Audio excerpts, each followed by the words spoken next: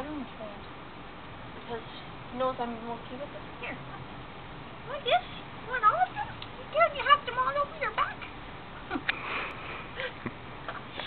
Greedy little guy, huh?